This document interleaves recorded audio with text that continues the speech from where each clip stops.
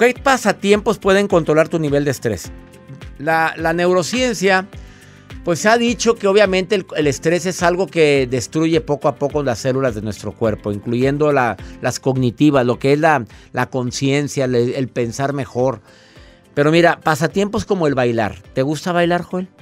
Sí, sí me gusta bailar. Bueno. Cuando me invitan a una boda, eh. Bueno, a mí no me gusta bailar, pero oye, de repente bailo solo. La jardinería. ¿Te gusta la jardinería? Poco. A mí me gusta sembrar arbolitos. Pues no andar cortando florecitas. La Pero hay club de jardinería. las ¡Ay, tías! Les encantan. Es la escritura. Escribe, escribe, escribe cartas, diarios, escribe lo que quieras. Ese es un hobby que controla tu estrés. Está comprobado que el escribir es terapéutico. También te va a ayudar mucho la música. El tipo de música que a ti te gusta.